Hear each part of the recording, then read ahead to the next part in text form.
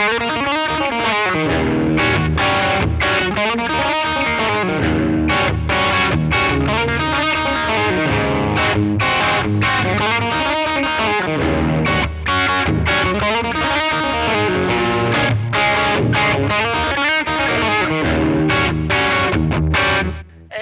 Is Carl Brown from GuitarLessons365.com. Today we're going to take a look at Scuttle Buttin' by Stevie Ray Vaughan. So this one is in uh, is tuned down a half step just to start off here. So I have those notes, just, just tune every string down a half step like uh, SRV did all the time. Now, um, there is some debate how this main riff is played.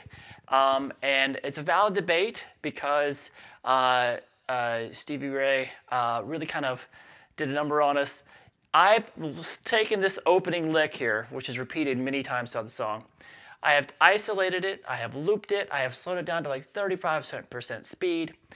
On the actual recording, there is a very definite sound of a bend, not a slide like I just played there. Now live, Stevie chose to do slides almost exclusively. Um, but he would mix in some bends. He'd do the riff as a kind of a bend version of it as every once in a while as well. So you choose to play. It sounds great. It's fun to play either way. You can do it as a bend or a slide. They both sound great, and they're both so similar sounding. When you get it up to speed, it, they both sound very. Now, there's it's a little bit more difficult on the left hand to do the bends. Um, but when you're doing the slides, it's a little bit more awkward to time it with the picking hand. So they both have their pros and cons. So I'm going to show you how he actually played this live first. So this opening lick here is going to start like this.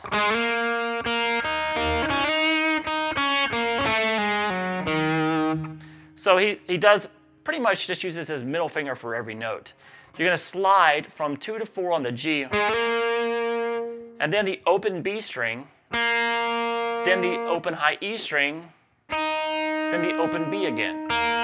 Now, how you pick this is what's going to make it. If you try to alternate pick it, it's going to be pretty difficult to get it up to speed.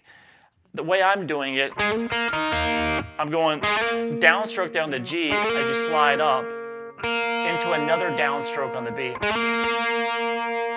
And then go around the high E string, hit an upstroke, into another upstroke on the B string. So it's a down, down, up, up.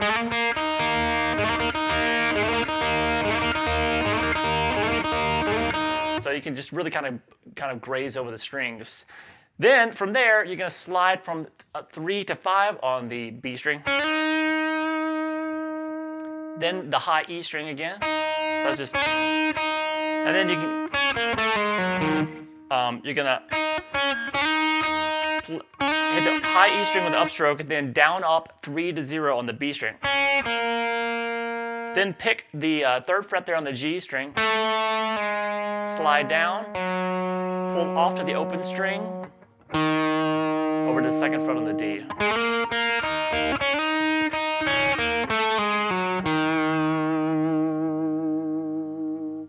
So if you wanted to do it as a bend, just replace both of those slides with a whole step bend.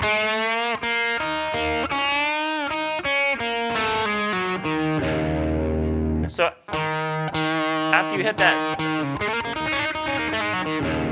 you pull off to the, you know, land on the second fret of the D string, then you hit the low E open, all right? Now Stevie Ray, he would usually play these top two notes. Now,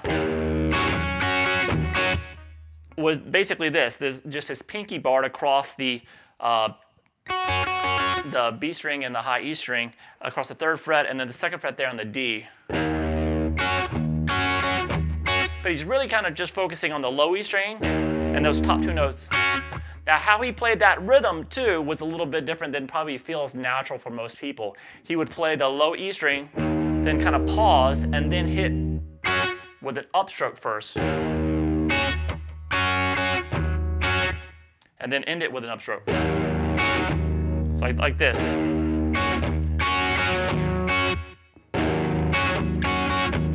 So he's kind of just really muting the strings down here just to keep them from ringing.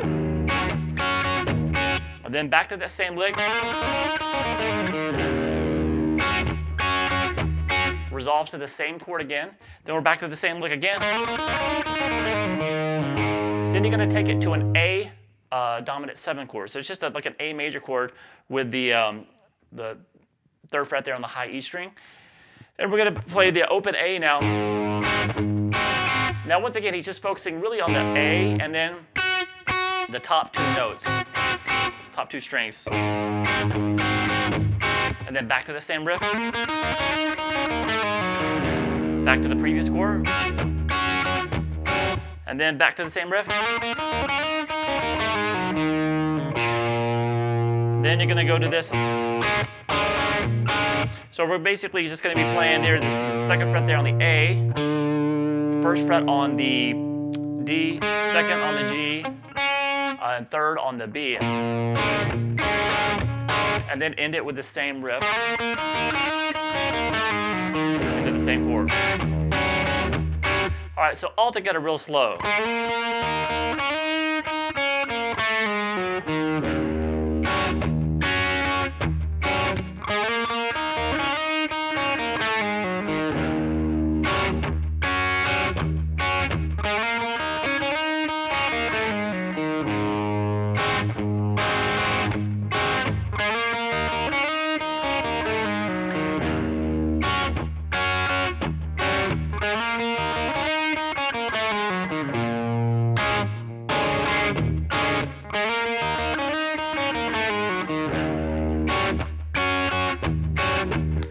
Now I know that wasn't very slow, but it's a lot slower than the actual recording. So you can play along with that, just practice that and get it up to speed. Now he plays exactly what I just did. That's really just the intro section. It's really the main riff of the song. Um, he goes through that exact same thing again. So I'll do those same, same, the same riff in between those chords, same exact thing. All right, so then at the, uh, where are we at here? The, the uh, 35 second mark, we finally starts changing things up a little bit. It sounds like this.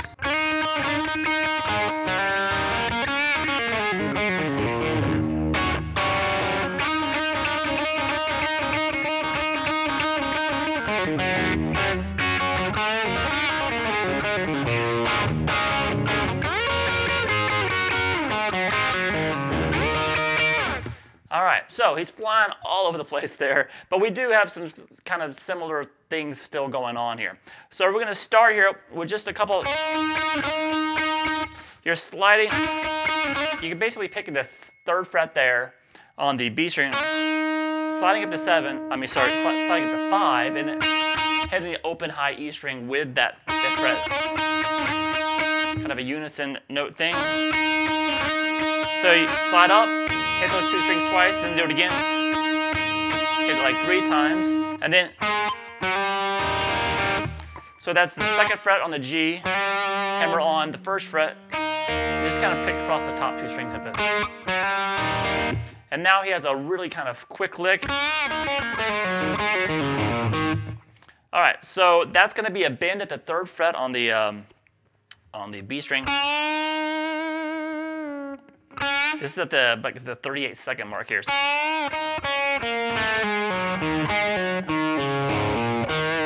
So that's the bend.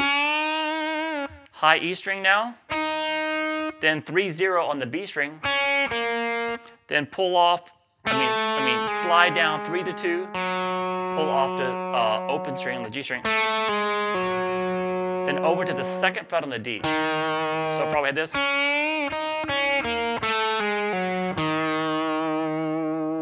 Then you're gonna pull off three to, I mean two to zero on the G, and then over to two to zero on the D, and then you're gonna do a hammer on now on the A string, zero to two, and end it at the second fret on the D.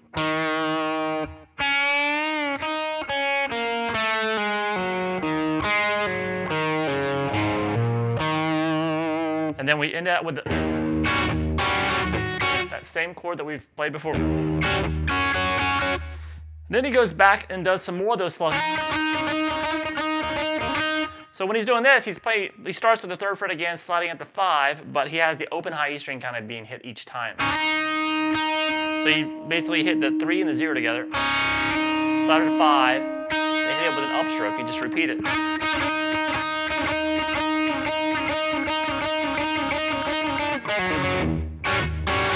And that's a little quick little fill that ends it That's going to be a pull off um, uh, 2 to 0 on the G, over to 2 on the D string, then open G, and then back to that.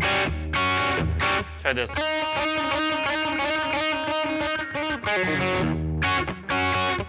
All right, now we have another fill that's a little bit different. This is about the 48 second mark.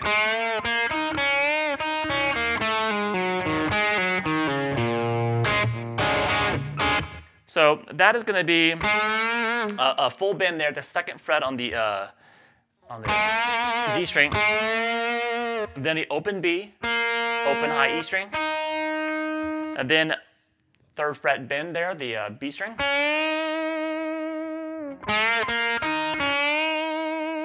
Open high E string, pull off three to zero on the B, and then kind of a similar lick that we're ending here. Three, slide down to two, open G, over to two on the D, and then pull off two to zero, two zero on the D, into the second fret there on the A string, which is gonna leave us to take the rest of the chord. And then you kind of go back into that same. So we have this.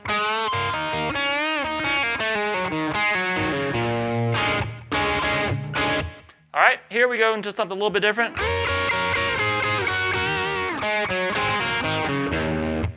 All right, so that's up at the the 10th fret on the high E, 12th on the B.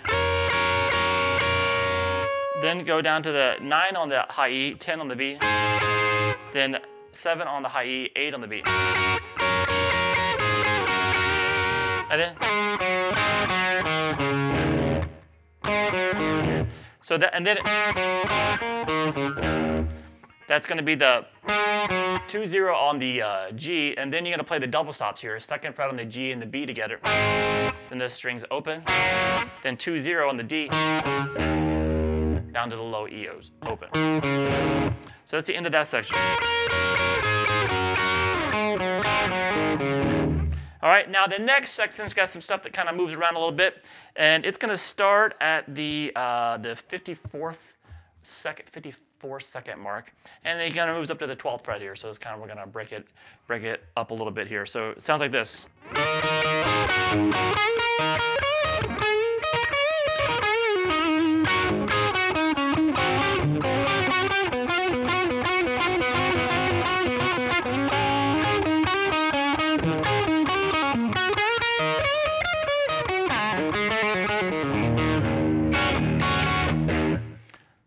So that one, uh, it's got some new licks in it here. We're gonna slide into the, so that's the first phrase. That's the sliding into the double stops on the 12th fret across the B and the high E string. Hit those three times, and then the double stops here at the 14 on the B and the G. Then the, four, uh, the B and the G double stops at the 12th fret.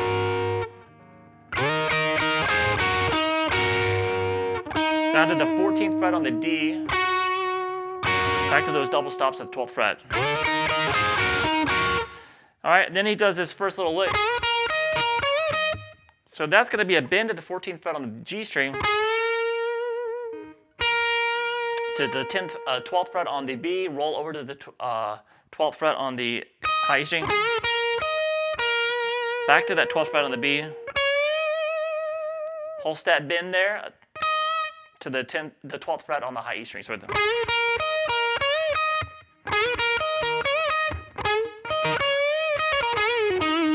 So the second phrase is this.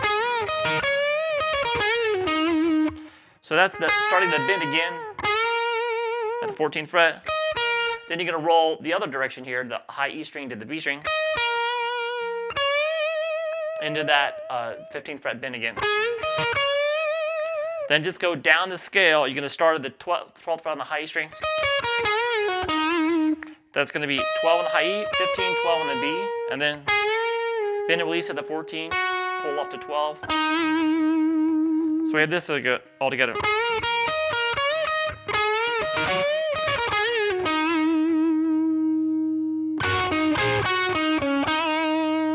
So from there we have this, the double stops at the 12th fret again, down to the 14 on the D, then the double stops at 14 again, down to the double stops at 12, and then 14, 12, 14 on the D.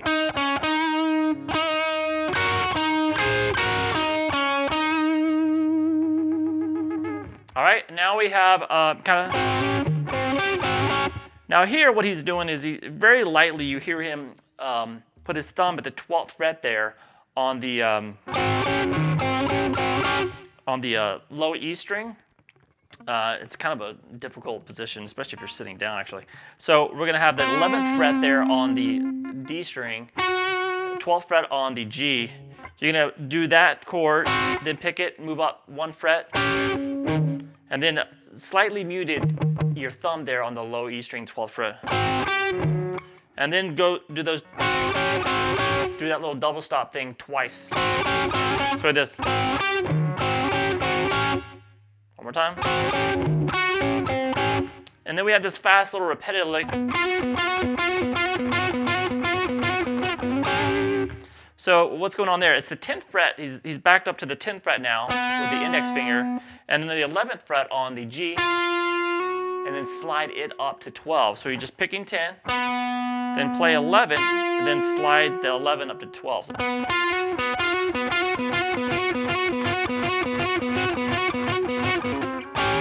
then mm-hmm. resolve it by moving that double stop back up to the 12th fret here and the 13th fret on the G. All right, the rest of it.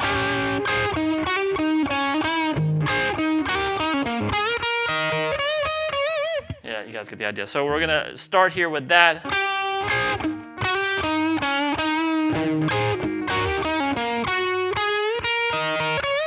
Kind of probably a good stopping point here. After you get to that double stop, is just right here. You're gonna go to the double stop at the 14th fret, down to the on the on the across the G and the B there. Then roll over to the 14th fret on the D. And then a quick little hammer between, uh, it's just really a grace note hammer between 12 to 13 on the G. And then 14, 12, 14. When you play that 12, add a little bit to it. Got a slight, like a quarter step bend there. So we have this. Once again, grab the low E string 12th fret with, uh, with your thumb. Then the 14 to the, across the G and the B again. Down the 14 on the D. Now you can do that little quick little um, hammer again, but you're gonna add the B string in there too at the 12th fret. Just kind of a double stop, then hammer on the 13th fret of the G. So we have this so far after coming up from the, the double stops here.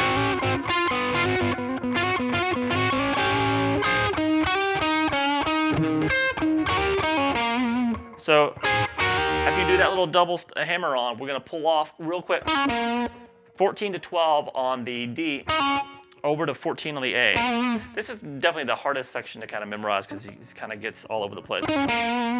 So, so far we have this.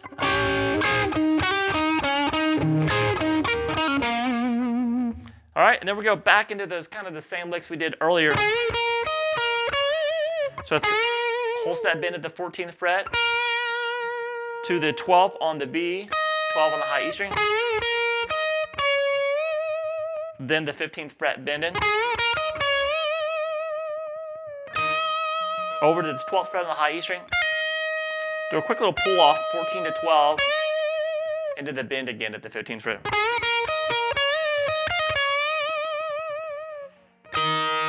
Then you just hit those double stops a couple times at the 12th fret. And here's where he speeds up. Now this one's kind of a little bit of erratic. When you get down, slide down to the second fret, pull off to the open G, over to the 12th, the second fret there on the D. Back to the open G. Then he does a quick little kind of sliding up to three, back to two, and then pull off to the open G. And then you're gonna, after you pulled off to the G, go back to the second fret on the G, pull off two to zero, pull off two to zero on the D, then hammer um, zero to two on the A, and back to that two on the D. So.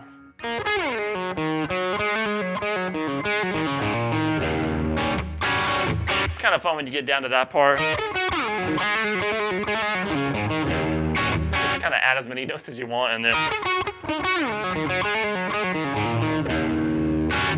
All right, so coming out of that, you're gonna,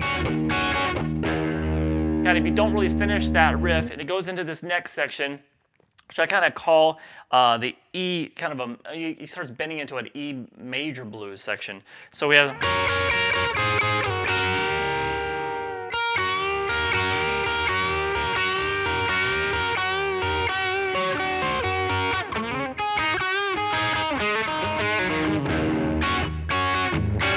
So it's kind of similar to the, some shapes that we did earlier. So this section happens at the 1 minute and 11 second mark. So it's the same double stops we did up here earlier in the song. But when we get to the 7th fret there on the uh, high E and the 8th fret on the B, we're going to kind of hold those, kind of picking the B string and bending it from that G up to a G sharp. Which makes it E major. So. So after you do the bend, you hit the seventh fret on the high And then we have, so it's 10th fret, little melody goes on the top at the very end. Kind of still hold the 8th fret on the B string, This 10, 9, 7. All right, then there's this little lick that comes in.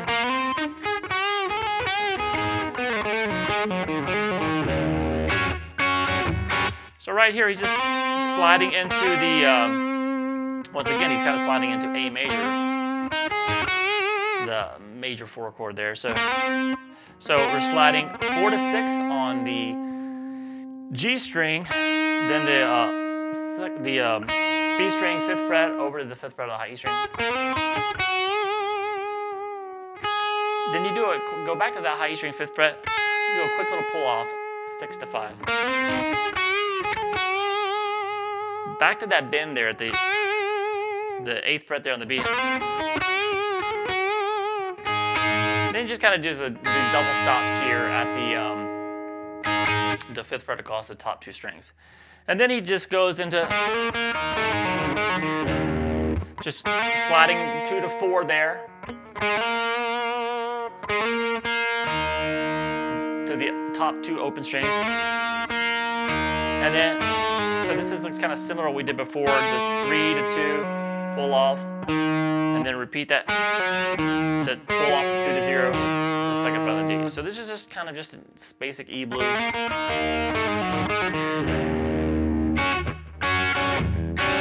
All right, so coming out, out of that, we're just basically, you can end it with this.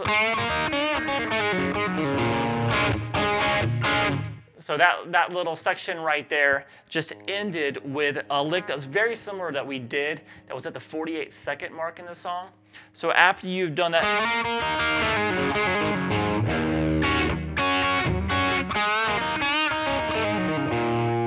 it's, it's the lick that led us to this chord. So go back and check out that lick. He added one note to it though. And the lick before was went right to that bend. This time, he goes back and hits that open B again before he does that bend. So he adds one note in there.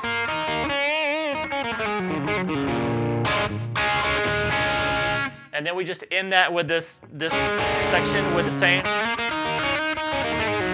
the same as the main riff. All right, now we get to the end of the song, and the end of the song is just that main riff section that we did at the beginning of the song two times through. This time just done one.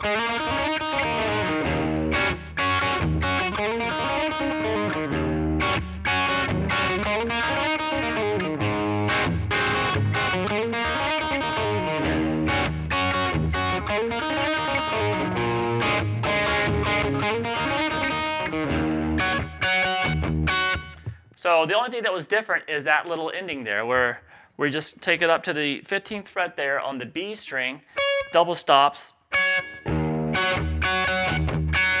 It's the same rhythm though. So the, the double stop there, the 15th fret, across the B and the high string, open E string still.